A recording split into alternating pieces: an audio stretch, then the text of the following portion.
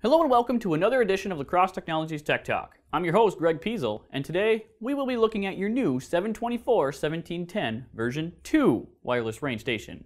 We will point out the differences from version 1 and why these improvements were made. So, let's go!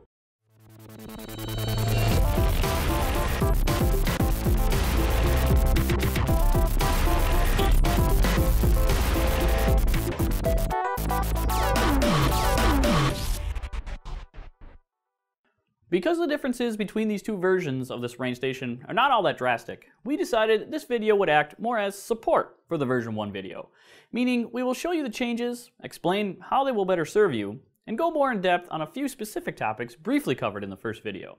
But we will not actually be doing the setup. If that is what you're looking for, please follow the link in the description below um, to link you back to the first video, which should cover all of that. Now, here's a rundown of what we will cover in this video. First will be the hardware improvements, found mainly in the sensors. Next, we will go into greater detail about the location of the model numbers for the station as well as the sensors. After that, we will look at some very useful software changes. Then comes a more comprehensive demonstration of how to do a TX or transmission search for your temperature sensor.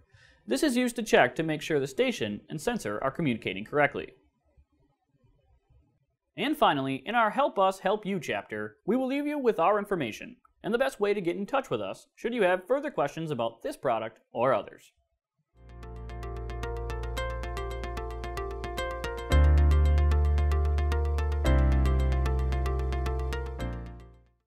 When talking about how we could make this product even better for version 2, we focused on the rain count accuracy, as well as some simple aesthetics that could make its use more flexible to the end user.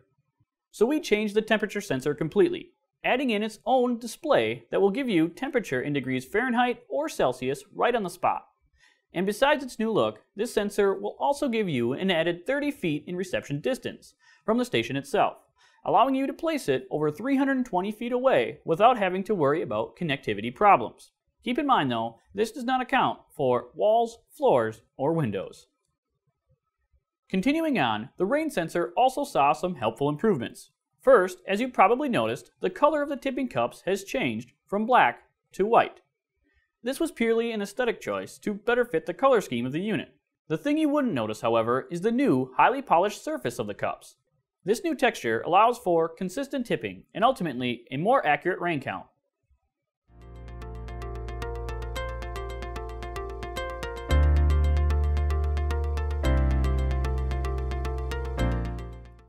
So we realized our explanation of the model numbers in the version 1 video was kind of lacking. And now that there are two different versions of this unit out there, we figured we ought to do a better job. Alright, to review, if you've already watched the version 1 setup video, the model numbers are indeed on the bottom of the station itself. By model numbers, I mean it not only includes the station's model number, but also the rain and temperature sensor that go with it as well. As for the sensors, their model numbers are printed right on the back or the bottom. Pay close attention though as to which model station and sensors you have, as you cannot mix and match. For instance, the TX17T temperature sensor will only work with the version 1 of the station, and the new temperature sensor, the TX23T, will only work with the version 2 of the station, indicated by the V2 on the end. The same goes for the rain sensors as well. The TX17R will only work with version 1, and the TX23R will only work with version 2.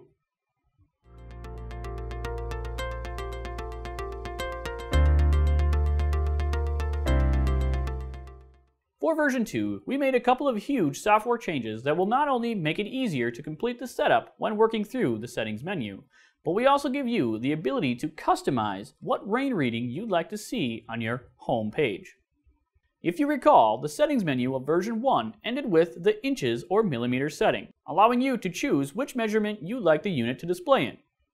The way we had this displayed was just having the icon flash on the bottom right hand corner, where it is located on this screen. This, as you may have noticed, was a little hard to see. So for version 2, we changed this up a bit. The inches or millimeters setting will still be the final option in the settings menu. However, we moved its location to the middle of the screen when cycling through the settings. This makes it a bit more obvious as to what exactly you are changing. The biggest change to the software, however, was adding in the ability to choose what rain reading you'd like to see constantly on screen. Version 1 gave you the ability to cycle through the different readings to see the information, but would always revert back to the current rainfall setting. Now, with version 2, you cycle through these the same way by pressing and releasing the rain button, but wherever you stop is where the screen will stay. So, if you'd like to see your 24 hour total, for instance, Simply press and release the rain button until the 24 hour total icon appears. This will then essentially become your new home screen and will not change until the rain button is pressed again.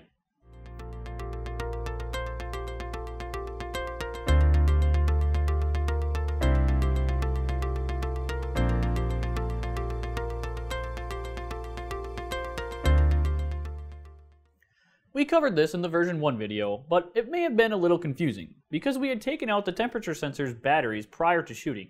This was designed to illustrate what it would look like if the connection was lost. However, we never really explained that. So, just to cover our bases, we will run through a transmission search for your temperature sensor one more time. To better illustrate this, I will use both a version 1 and version 2 unit, as this part works the same on each. One though, will start with a connection, this one with the temp showing, and the other without, this one here with the dashes. To initiate the search, press and hold the down button on the back of the unit for 5 seconds. The dashes will appear and flash in the outdoor temperature location, indicating that it is searching for the information from the temperature sensor.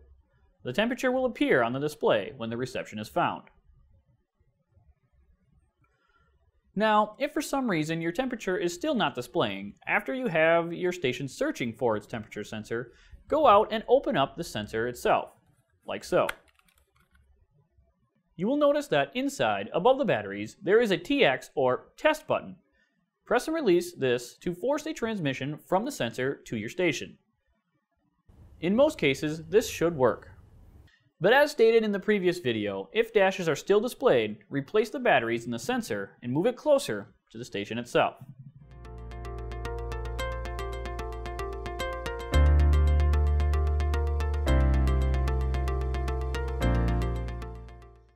Alright, I think we covered everything, but if you think we missed something, or if you should have further questions about this product or others, please do not hesitate to ask in a comment below. That is what these videos and our social media channels are all about getting you the information you need to know quickly and accurately. We are here to help you. So please follow us here on YouTube for the latest video content, like us here on Facebook for some personalized interaction, and follow us here on Twitter to join the conversation. In the meantime, we hope you enjoy your new wireless rain station. I'm Greg Piesel, here for La Crosse Technology's Tech Talk. We'll see you next time.